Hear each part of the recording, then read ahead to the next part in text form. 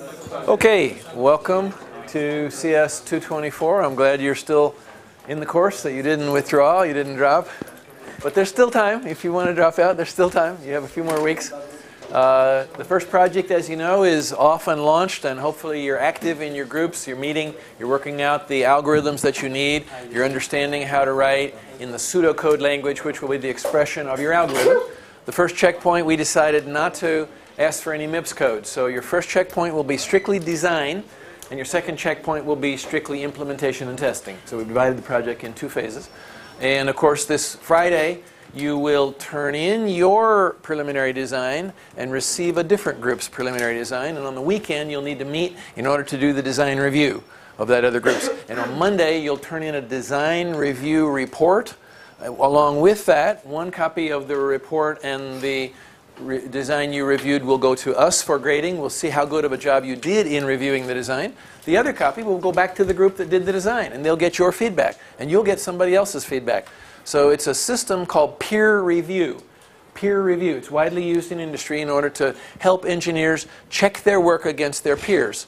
So all of us know some things about um, assembly language coding. All of us know some things about linked list. All of us understand now the 10 utilities. All of us understand the uh, design language, which will be the pseudocode that we've specified. And so all of us can review each other's work. We can review your work. You can review each other's work. So that's what we're going to be doing. So plan time this weekend. Don't go away to your Memleket. Plan time this weekend to meet with your team. Well, if you go away to your Memleket, then you cannot sign the report. You're not part of the team. You get a zero on that checkpoint. If you're gone when your team does the design review, you're still part of the group, but you get a zero. Okay, so you got to be part of the team. Nobody can miss meetings and still get the credit for the team's work because you're not there. You're not part of the team if you're not at the meetings. Okay? So even if you divided up the 10 uh, procedures into your team and said, you do these, you do these, you do these. We want your team to be reviewing the other team's design, okay? So everybody's involved in the design review. And then we want to have one report, not four. A staple does not turn four reports into one report. A staple just puts some pages together. One report means it has a continuity of style, it has a continuity of usage, it has a continuity of approach. If you take four different people and let them each write a report and put a staple on it, that doesn't count as one report. That'll be very obvious to us that you've done that. So we want you to, what's the Turkish word? Uyum salamak. Okay, we want you to, between the authors of the sections of your report, bring a unity to it. All right, so that's a task in and of itself, is to, to, to speak with one voice, even though you're a team of four. Okay, so we're expecting these things from you. I'm, I'm, very clear. We're expecting these. If you disappoint us and don't meet our expectations, do not expect to get a good grade. Okay? So we're setting the bar high. This is not four people's individual work with a staple on it. This is one team's work. So you need to be meeting with your team. You need to be helping each other, cooperating, listening. What I strongly suggest is review each other's work before you turn it into somebody else on Friday. You have a team of four. So why can't she check your work? Why can't you check his work? All of us understand how to read specifications and write the uh, pseudocode expression for the design. So just because you did count, somebody else did insert, why not review their work? Yeah, that's a good strategy, is internal review before you send it out for external review. Don't be uh, fooled. The external review will be very critical and very harsh. Uh, all the groups understand their job is to find weaknesses. And if they don't find them and we find them, the reviewing team will be given a low grade. So therefore, the, the reviewing team will aggressively, and the teaching team will aggressively go through your design to try to find things that are foolish, wrong, misunderstandings, uh, misuses of the uh, pseudocode syntax, etc., etc. So therefore, try to pitch it at a very high standard so there's nothing to find. Try to make it so there's nothing to find. Kusursuz olsun ki bulunmasın. Herhangi bir eksiklik. Tamam mı? That's the goal. All right, so I'm setting a very high standard for you, and now I'm asking you to respond by putting in your effort on this. This is one of two major learning activities in this course. The second is Project 2. And these major learning activities will determine whether you really did anything in this course, whether you got anything that's lasting, whether you made positive steps toward becoming an engineer, or whether you just said, no, I don't want to do it, I don't care, we're in the deal, and you're just sort of a passive student. In that case, I'm not sure that you're really ready to move on to the next course, which is CS 342 Operating Systems. So we'll see about how your performance on the projects are. Project percentage of the grade is very high. Project yapmayan geçmez. That's the simple rule. Just basic, you know, if you don't do the projects and participate in them, you'll not do well. Oh, I'm not planning to do them, Hoja, but I'm going to get on the back of my friends and they're going to carry me across and I'm going to get their project grade, just like I did in CS 102. No, not. You're not going to do that. That's going to be prevented in the most diligent way that we can. If you are the lazy one in your group, you're going to get burned. We're going to work very hard to see that you do. So if anybody's trying to ride free on the back of their teammates and not carry their share of the load, you're going to be really sorry. You're going to be fired from your job. Okay, that's what I'm going to do. I'm the boss of this company, and I'm going to fire you. I'm going to kick you out because there's no reason that I should pay your salary if he's doing the work and you're putting your name on it. There's no reason I should do that, and I will not. Okay, you're just load on my company. You're just uke, and I don't like uke. I want everybody to pull their share of the load. So if you're in a group, Ur Kumru, and you're not doing your share of the load, then you're not going to get the group's grade.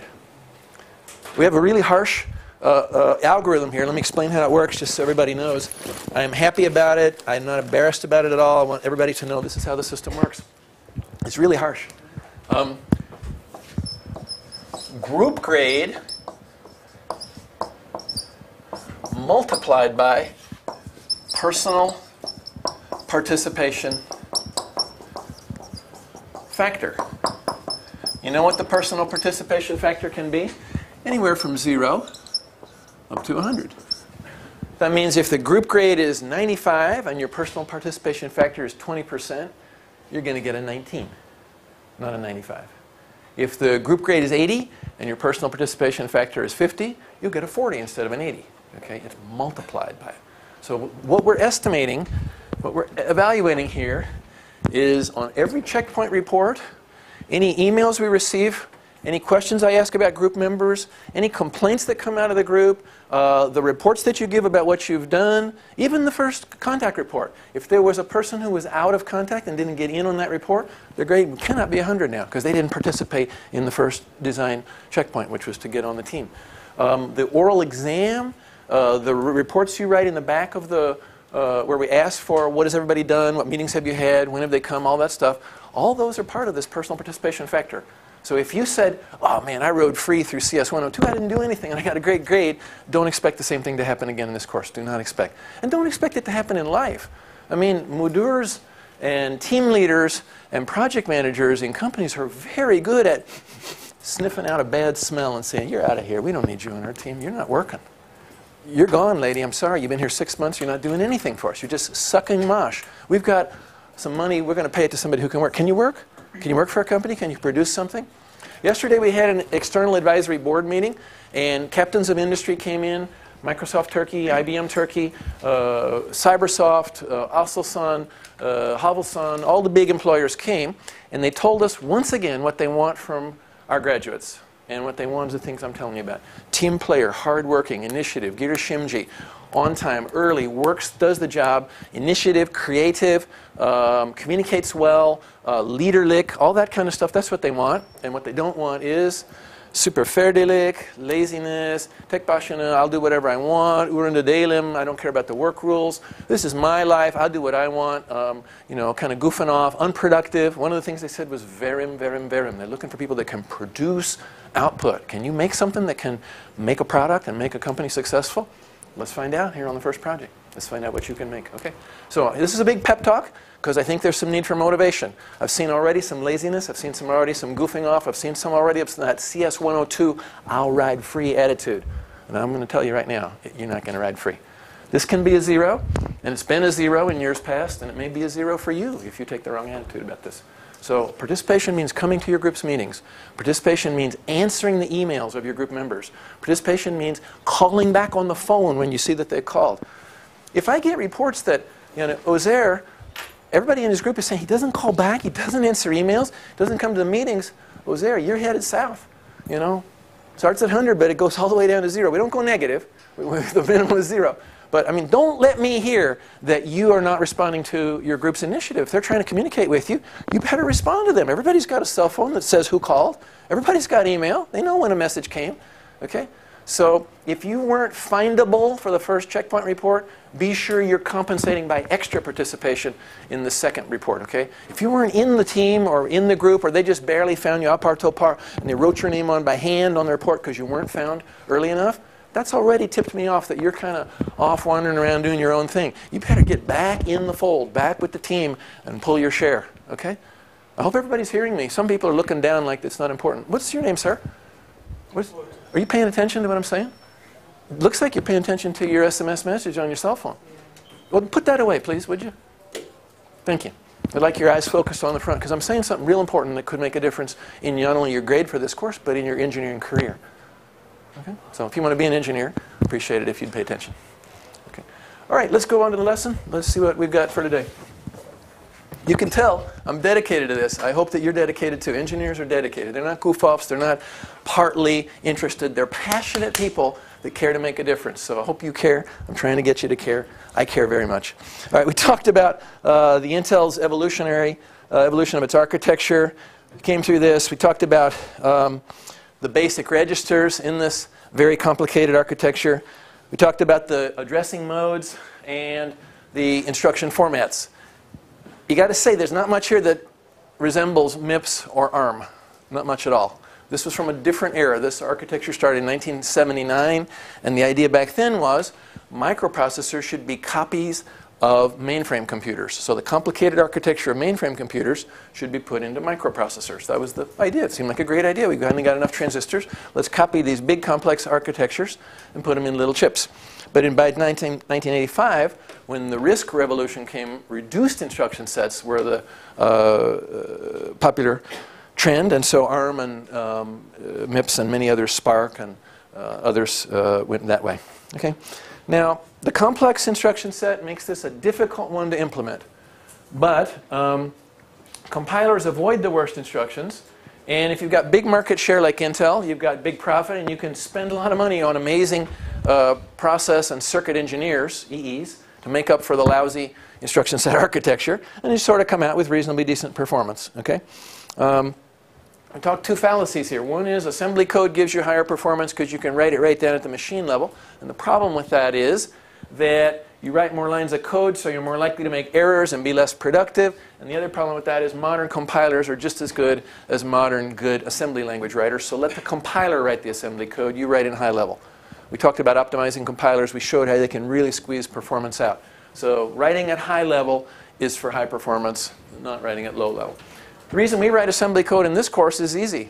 Who can say? Why do we write an assembly code in this course? You have plenty of high-level language courses. All the rest of the courses that you'll take write in high level. Why does this course write code in low level? Yeah, we're trying to understand the machine. So let's get down close to the machine with a low-level language to help us understand the hardware. That's exactly right. The hardware-software interface is not understood very well if you're way up here in software. When you're right down here at the machine level of software, then you understand the hardware much better. And we're going to design a hardware. We're going to design a processor in our second project. Okay, the complex instructions are really hard to implement. And there's a risk that they slow down all instructions, including the simple ones. So that's a fallacy that more powerful instructions give you higher performance. In fact, simpler instructions give you higher performance, and high quality compilers give you higher performance. That's, those are the truths. Now, backward compatibility says the instruction set doesn't change, but that's a fallacy also. Our third fallacy uh, is disproved by this graph. The instruction set certainly does change. Uh, this is the uh, architecture of the x86. 8086, 8186, 286, 386, 486, Pentium 1, Pentium 2, Pentium 3, Pentium 4, et cetera, et cetera, et cetera. The whole Intel family. And you can see that it started out with a little bit less than 100 instructions, and by 2008 got up to 900 instructions. That's not a reduced instruction set architecture. New instructions are certainly added, but no old instructions ever die out. So that's how you have backward compatibility is all the old instructions still work, but we just keep putting in more and more and more and more and more and more, of course making a more and more complicated data path and control unit, challenging the hardware engineers in order to build the thing and make it fast. Let's now make, wrap this whole chapter up, okay? The first thing is the stored program concept of John von Neumann. Everybody remember that? Programs are just bits, just like data. We can store them all in the same memory. We won't have a separate place for storing instructions because they're just like data. So therefore, put the ones and zeros in memory, fetch them out of memory, decode them, execute them, put the results where they're supposed to be, and figure out what to fetch next. That's called the instruction cycle. The concept is the von Neumann architecture, or what's called the stored program architecture. Okay? And the idea is that everything's just bits, numbers, characters, instructions, everything. So we all we just store it all and fetch it out of memory as we need it. So the bits themselves only have meaning as we put an interpretive scheme on that. If we say these bits are a floating point number, it means something different. If we say these bits are an instruction, it means something different. If we say these bits are an integer, it means something different still. Okay, so you, the bits are bits, but the meaning is an interpretive framework put on it out of the context. And finally, the four design principles that we saw as we worked through these slides, and which you see as you work through chapter number two, reminded over and over. Four design principles for instruction set architectures are simplicity, favors regularity. If you want to keep it simple, keep it regular. If you make regular things, you'll get simple. Simple things go faster. Second one is smaller things go faster. So if you have a choice of n or n over 2, take the n over 2 if it can still meet your needs. Don't make it bigger than it has to be. Third one is make the common case fast. Do not sacrifice performance for the rare case. Instead, sacrifice the rare case in order to have performance. Make the rare case slow if you have to so that the common case is fast.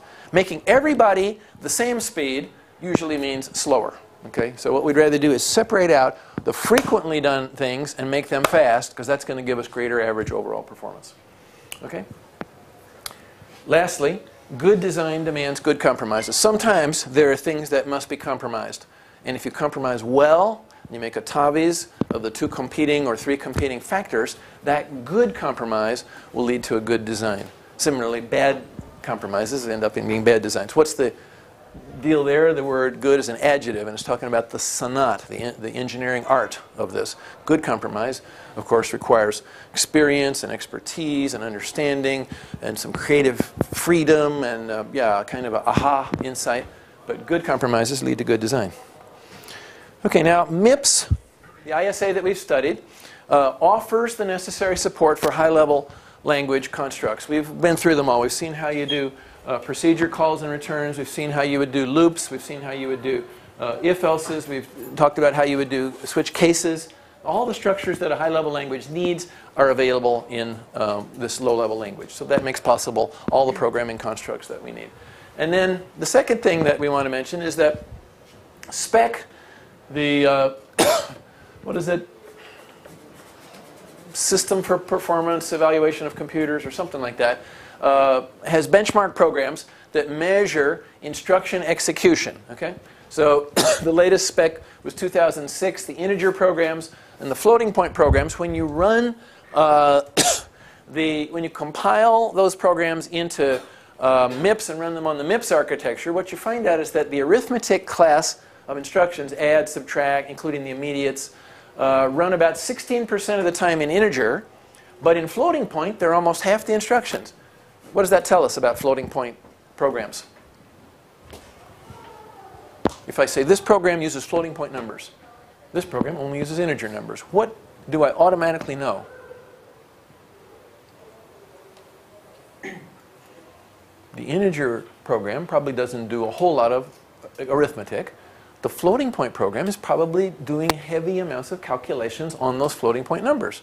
Interesting.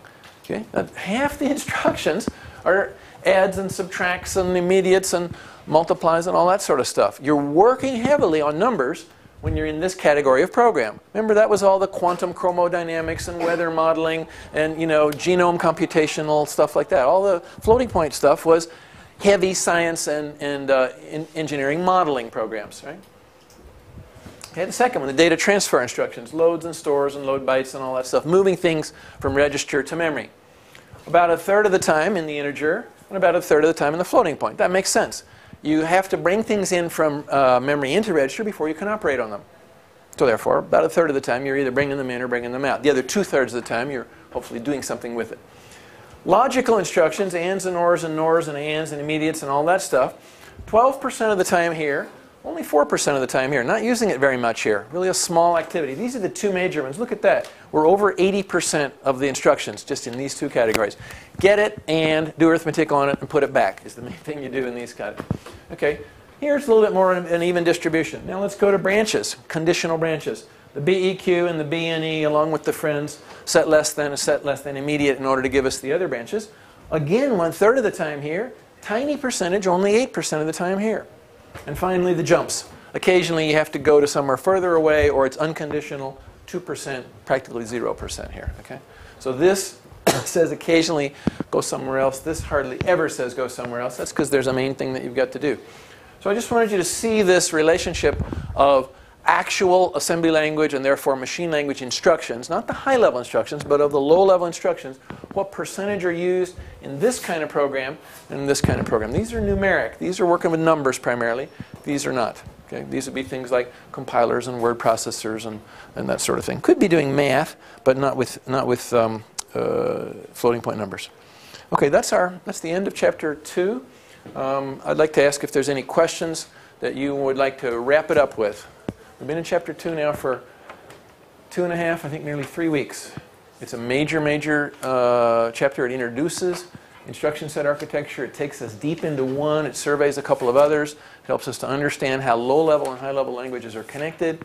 About the only thing it doesn't do is show us how the machine actually implements these assembly language instructions. Don't worry, we'll get to that real soon. We'll actually build a machine that does this. But I'd like to ask, are you have any questions about assembly language programming and the concepts that we've introduced in this chapter?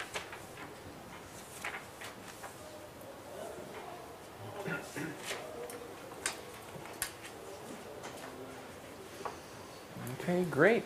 Then project number one is going to be an outstanding success. If you don't have any questions, I mean, you know everything. So we're good. All right, that's great. Um, I'm going to move into chapter three then in the next set of slides, unless there's any questions that would take us here in chapter two. I had an office hour today. Only one person came. Those continue to go pretty much heavily unused. So I encourage you to uh, take advantage of the teachers as they make time available for you.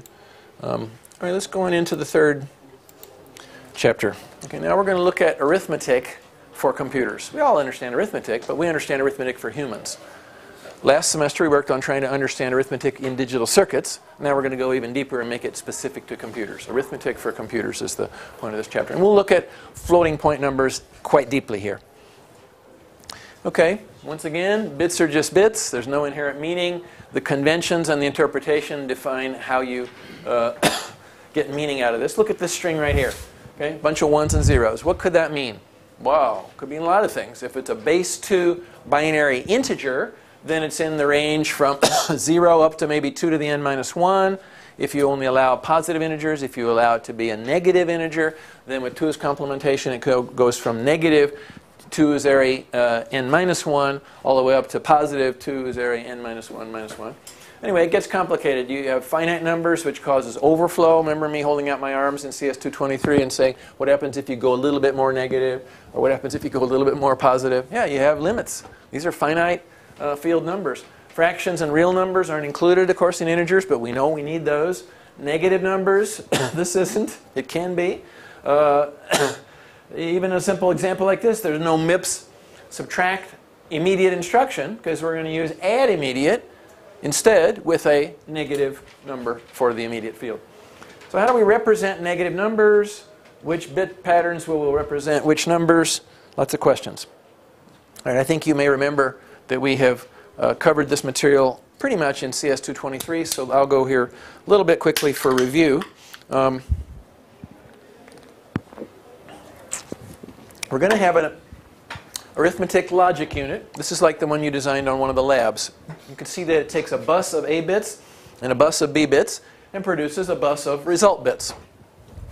It's got um, some operation code bits, four of them, and we'll call this M, and so that means there can be 16 different operations. So you can say add this to this, subtract this to this, or these two together, uh, exclusive or these two together, um, whatever you'd like to do.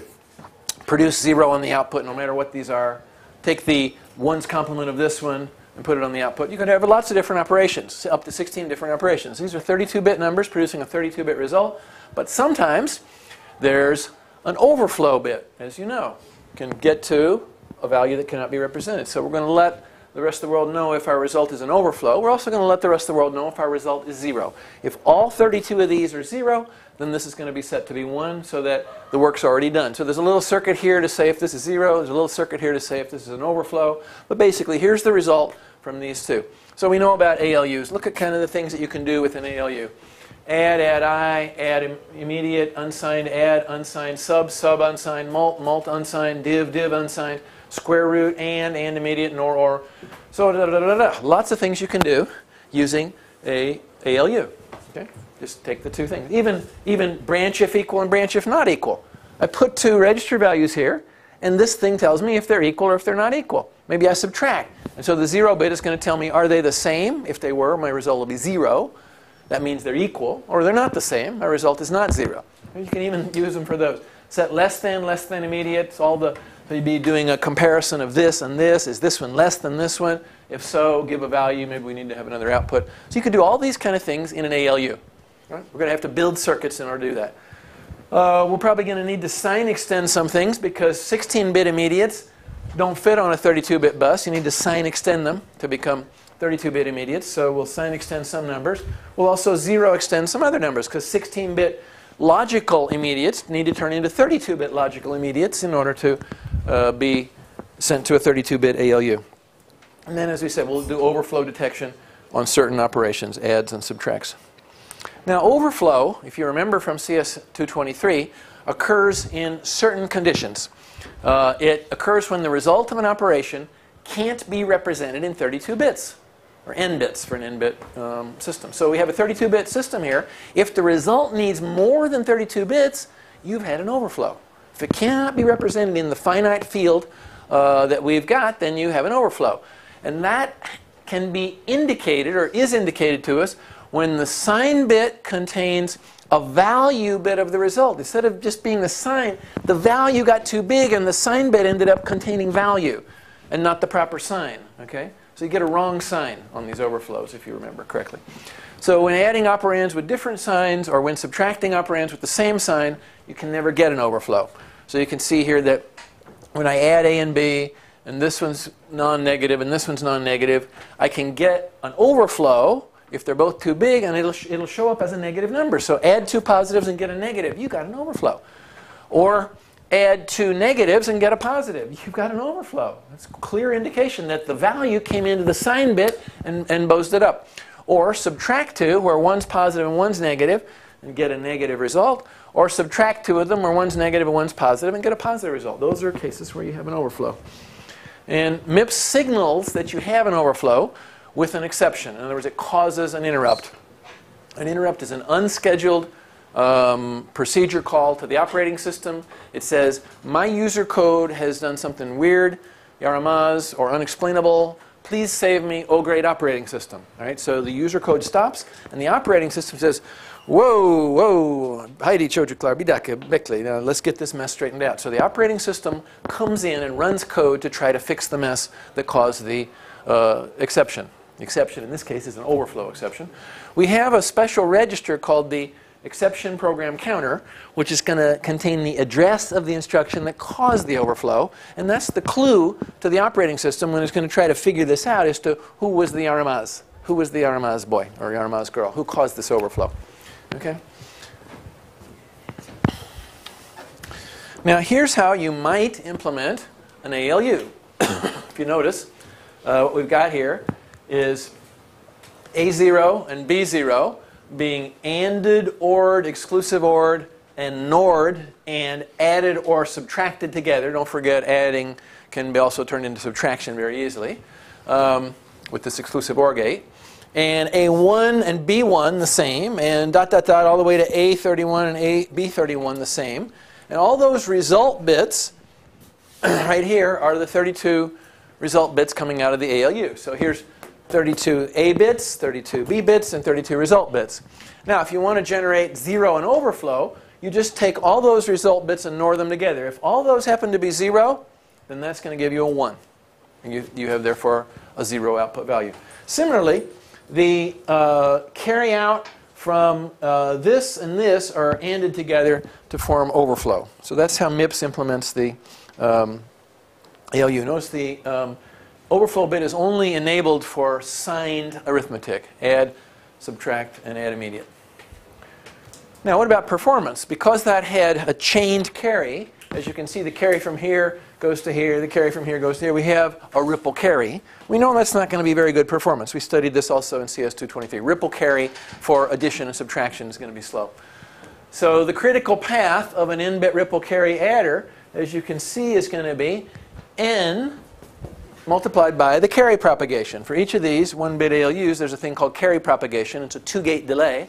And that two-gate delay is going to be multiplied by the number of stages. In our case, n is 32. So it's going to be 32 times whatever the carry propagation delay is. Now, you can do a design trick, and you can compute all the carries in parallel. And that kind of adder is called a carry look-ahead adder. And it uses a carry look-ahead unit. And if you're interested in that, you can look back in CS223 and, and learn more. Okay, now for multiplication, binary multiplication is just a bunch of shifts to the right and additions together. I mean, think about how we do multiplication by hand. You say, this times this, put it here. This times this, put it here. This times this, put it here. And then for this one, you say, oh, well, start, shift it over one. This times this goes here. Not here, but here because it's in the second place. This times this, so on. So this multiplied by that is this partial product. This multiplied by that is this partial product. And of course, all these are just ones and zeros.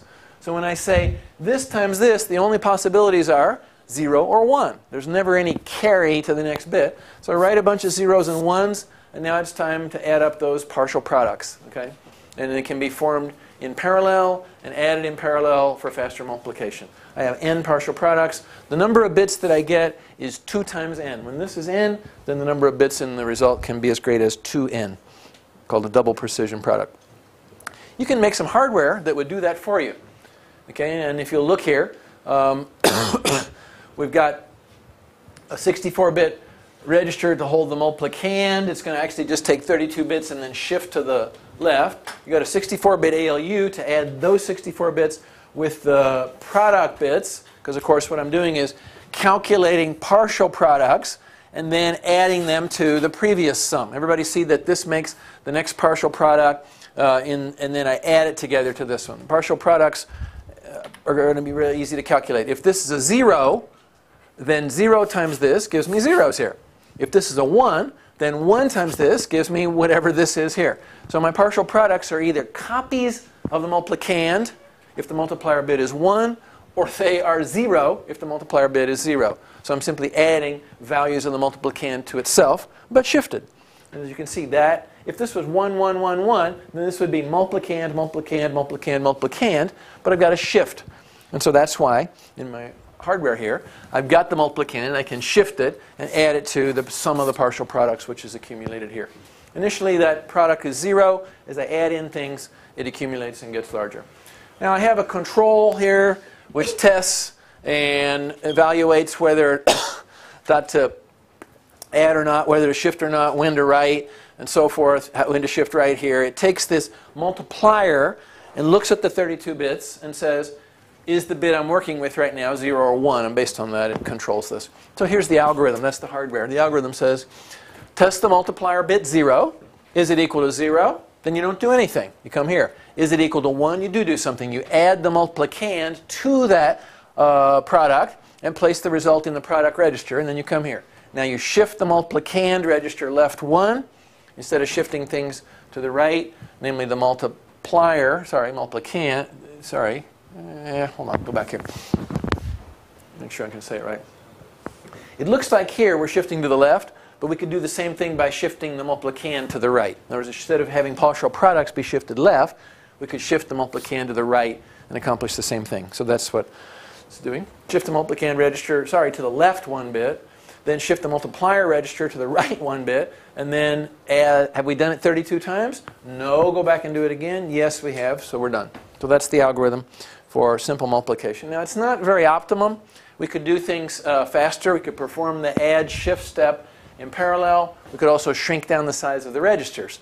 So look here. Now we have a 32-bit register here, a 32-bit ALU, much big, much smaller, big savings here as well. Our product register is going to be 64 because we know that we get 2n for the result. So we start out, with, as you can see here, with the uh, multiplier here and we're going to be shifting to the right and losing it. The multiplier and multiplicand will be, is that right? Yeah, I think that's right. No, no, no, no, no, no, no, I'm sorry. It's here, and, um, and we, we're able to test the bit and see if it's a 0 or 1 and decide to write the result. The, the 32-bit result we'll, we'll write is here, um, and then we'll shift the whole thing uh, to the right this way. So uh, each time we shift it this way, we move it down. In the end, the initial multiplier is shifted out, and the initial multiplic uh, product that we came in is all the way shifted down here, plus lots more. So in the end, the full 64 bits are filled with the product. Is there any question about the architecture of this? So we're starting with our multiplier here. We're testing the least significant bit, and that tells me if I need to uh, add or not. Uh, we're adding the multiplicand uh, to shifted versions of the partial product here and here to form the new sum of partial products. Okay, so the sum of partial products is being accumulated. If we go back to, we start with this, then we have the sum of these, then we have the sum of these, then we have, you know, we're adding one each time, as you can see. And the old ones need to decrease in significance by shifting to the right, and that's exactly what they do. They decrease in significance by shifting for the right. The new ones come in at the most significant end. The older ones are less significant, so they shift to the right. Okay, so this is computer hardware to do multiplication using the add and shift approach. Now, notice that it's one cycle per partial product. If you have 32 bits, you have 32 partial products, it's going to take 32 cycles. And if you don't multiply very often, then you have a slow multiplier. It doesn't hurt you too bad. But if you multiply often, a 32 cycle multiplication is going to be very, very slow. So are there some ways to speed it up? Sure. How many 32-bit ALUs did this use? One. How many times did it use it? 32 times. How about we instead have 32 ALUs and only use them each once? Ah, okay. This is going to be much faster, but obviously 32 times more in cost. Okay, I have now 32 of these in a tree, which would have 16 on the top row, actually 31. 16 on the top row, 8 on the next row, 4 on the next row, 2 on the next row, and 1 on the final row. So I have a grand total of 31 of these. I think everybody can see that what's going to happen is data is going to flow. If it's most significant, it finishes early. If it's least significant, it finishes early. It's the middle bits that finish last. Okay, so we end up having how many levels of delay here? One, two, three, four, five levels of delay through these things. So it's going to be much faster. Instead of 32 clock cycles or 31 clock cycles, it's five levels of combinational delay. Is this a fast, small combinational delay? Not exactly, but it can be made fast. We know how to speed these up, right? Make these faster. Okay? So if this is a ripple carry, it'll be slow. If this is a carry look ahead, it'll be fast. And we need to have 31 of these in a tree architecture. A lot of hardware, a lot of parallelism. Why? Speed. Speed, performance, performance, performance. Okay? So what we're doing is spending our transistors in order to get a better result in the hardware. So this is fast multiply. This is slow multiply. This is cheap multiply. This is expensive multiply. Space-time trade-off. Once again, space-time trade-off. Okay. Any questions about multiplication? All right. So now let's go to MIPS. MIPS has got some assembly language instructions. We first talked about implementing them. Now let's talk about what they would look like. There's a mult instruction in MIPS, which takes two operands, each of which is a register, 32 bits. It's going to produce the product of those. And so the product of those is going to be a 64-bit result. It's going to go in the high and low registers. The high register holds the upper 32 bits of the result. The low register holds the lower 32 bits of the result. Grand total, 64 bits result. Okay? There's also a mult unsigned. And this does unsigned multiplication of these two and also puts it in the high and low register. Now, after the results are in the high and low register, you've got to get the pieces out. So that means you need to have a move from high and a move from low instruction to put them in some other register that you want to put them in. So this automatically uses the multiplication hardware and puts the 64-bit product there. So does this one. And then to get it out, you get it out piece by piece. First move the high, then move the low. In this case, obviously, you need a different register or it'll destroy. Okay, so this moves the high into T0, the low into T0. Now there's a pseudo instruction which says, please multiply these two and put the result here. Now this is only 32 bits.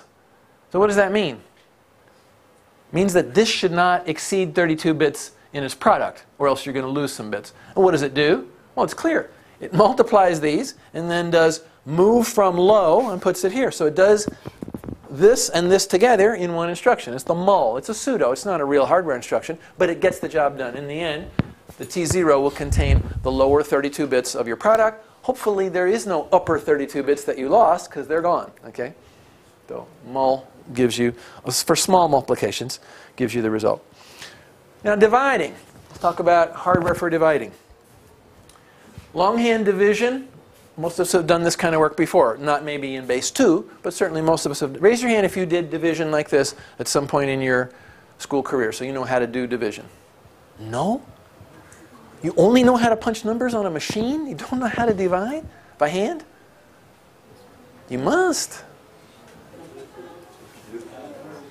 Did your teachers ever teach you how to say, look, this is the uh, divisor, this is the dividend, let's guess the first digit of our uh, final quotient. We multiply this times this with partial product, try to subtract it. If it's negative, then no, and so on. Did you never do that?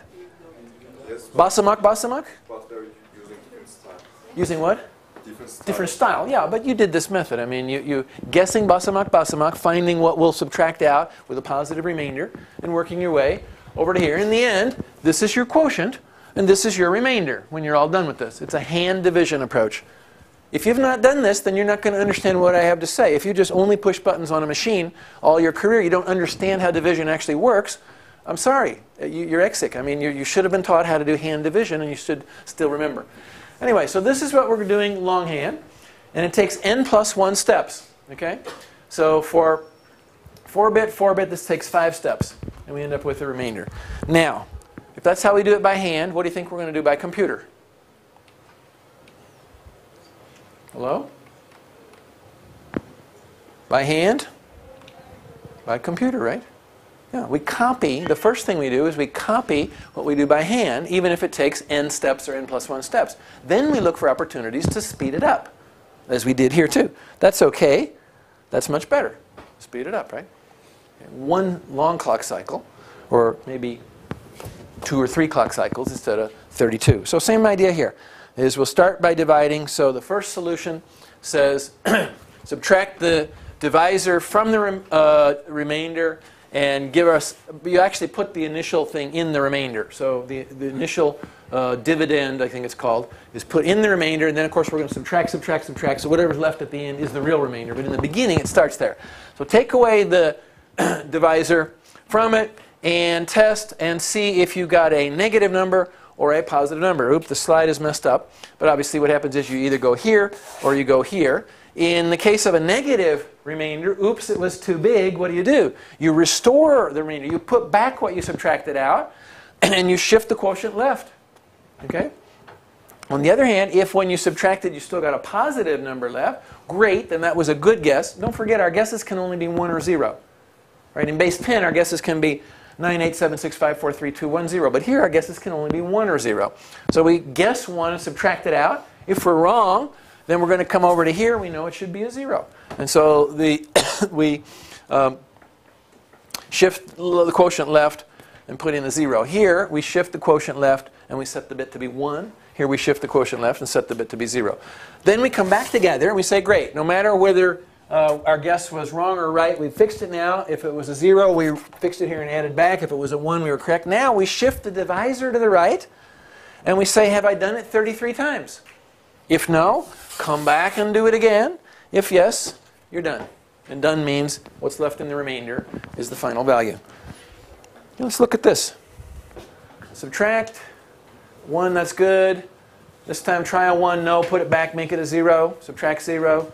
This time put a 1, no, didn't work. Subtract, put it back, give it a 0, take out 0. For this one, a 1. Have we done it enough times? Yes. Done. That's our remainder. That's our quotient. That's how it works. We're doing the same thing iteratively in hardware. Okay, now the hardware to do that would look something like this. Again, starting with the initial value in the remainder here. From that, we're going to be subtracting out the divisor, telling our 64-bit ALU to please do a subtraction for us. Uh, and then testing the remainder. If the most significant bit of it is 0, that means we're good. If it's 1, it means we turned it into a negative number. The control might cause us to have to add it back. Okay?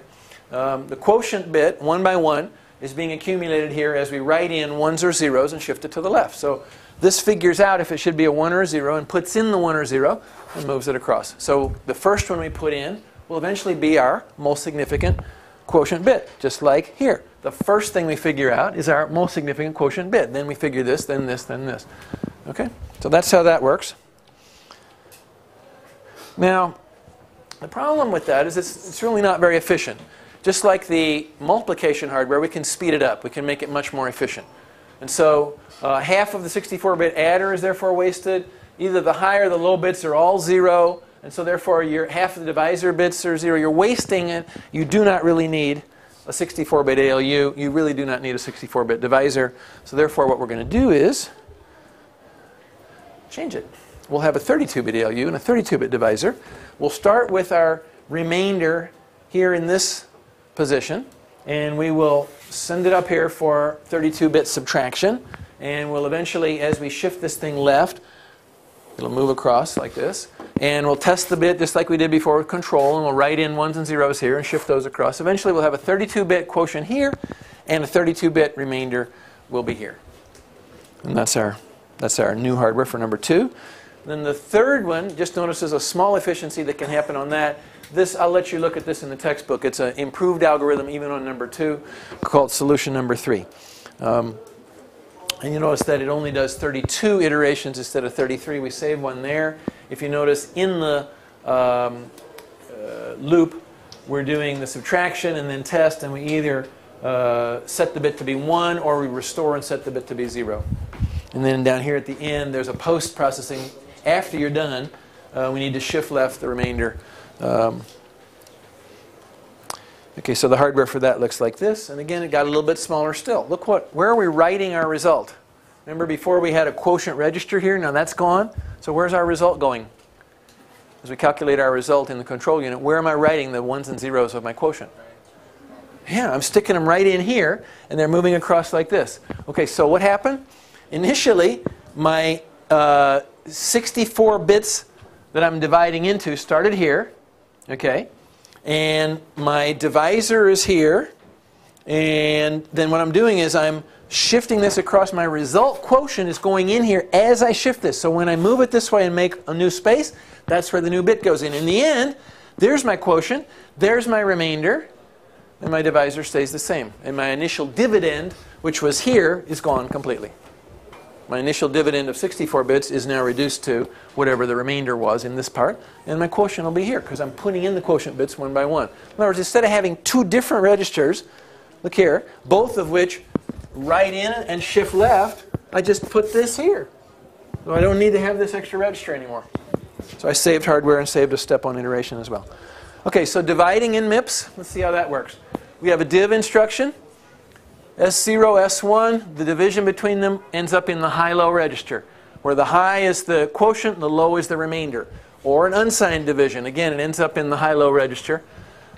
Once you're in the high-low register, you got to move them out. So move from high, moves out your quotient. Move from low, moves out your remainder. There's some pseudo instructions which speed this up. If you div S0, S1, you divide them and put the quotient, uh, sorry, uh, what's it called? Yeah, quotient in T0. If you rem them, you divide them and put the remainder in T0. Is that clear? So this is the division of those two. The, divide, the uh, quotient goes here. This is the modulus or remainder function. The remainder will go here. Because, of course, they both exist. In the, in the high register is the quotient. The low register is the remainder when we're done. If you go back, the quotient's here, the remainder's here. Other way around. The remainder's in the high and the quotient's in the low. Sorry, I goofed that up. So you have them both. So you can, therefore, transfer them out and even make pseudo instructions which get the quotient in this one and get the remainder on this one. Okay. All right, we'll do floating point numbers after the break. Take 10 minute break and come back and we'll work on floating point arithmetic.